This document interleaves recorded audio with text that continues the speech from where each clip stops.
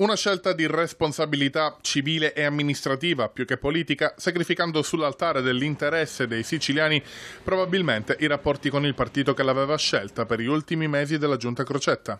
L'assessore alla famiglia Carmen Sita Mangano si oppone a Giampiero Dalia e ai centristi che l'avevano invitata caldamente a rassegnare le dimissioni, annunciando di voler portare a termine il suo lavoro con la scadenza naturale di questa legislatura regionale.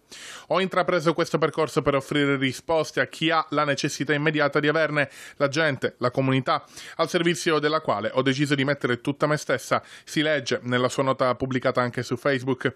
Non saranno certamente le questioni politiche, ha concluso, ad interrompere il mio percorso da assessore tecnico in questa giunta. Crocetta ringrazia, ma la sua squadra di governo resta pericolosamente decimata.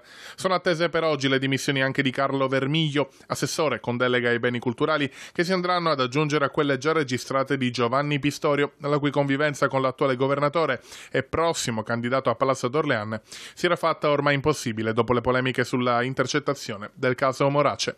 Crisi di governo che apre la fase del mercato dei candidati per le regionali di novembre. Dopo l'uscita di centristi e moderati, anche il PD dovrebbe dire la sua. Notizie in più si avranno dalla direzione convocata urgentemente dal segretario regionale Dem Fausto Raciti per lunedì. Il timore per i democratici sarebbe quello di perdere la carta Pietro Grasso a causa del pressing su di lui lui, di Dalia e Alfano, anche se quest'ultimo sarebbe di diverso avviso. Le prossime elezioni regionali, ha spiegato il ministro degli esteri, si vincono al centro contro i grillini e noi avremo un nostro candidato.